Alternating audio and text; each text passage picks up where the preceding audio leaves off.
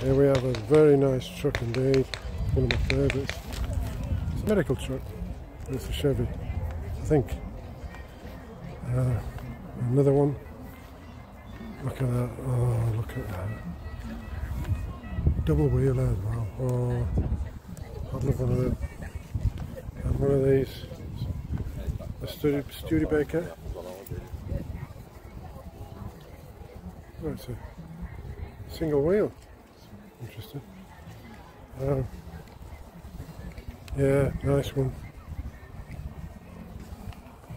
A bit unusual this one. 80th Infantry Division.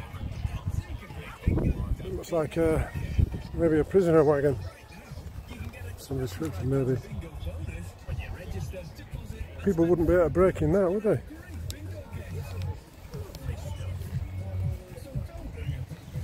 More trailers and jeeps and more trucks.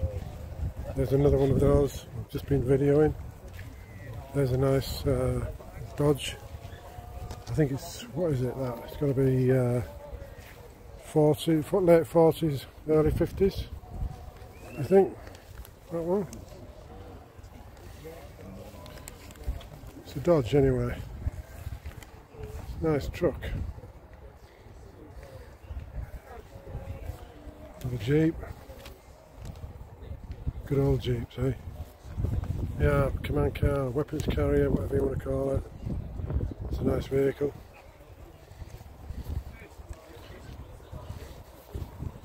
Dodge, another Jeep, all the kit on it. It's registered for the road as well. Imagine seeing that driving down the road. Oh, triple A. Oh, look at that. It's beautiful. Oh, look at that. Oh, lucky to own that. Oh, very, very lucky to own that. This is wonderful. Really love this. Look at that. Mm. Have a look inside. Oh yeah.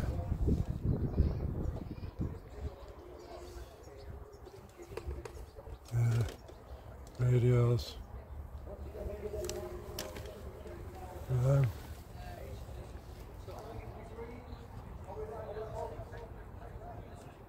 Triple A, wow.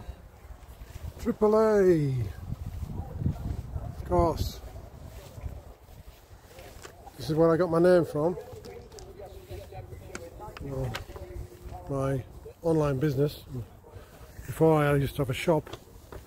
It's Triple A Army Surplus, and that's where that's what I thought about getting doing a triple A gun and then but anyway hope you've enjoyed the videos. Please keep watching. Catch you later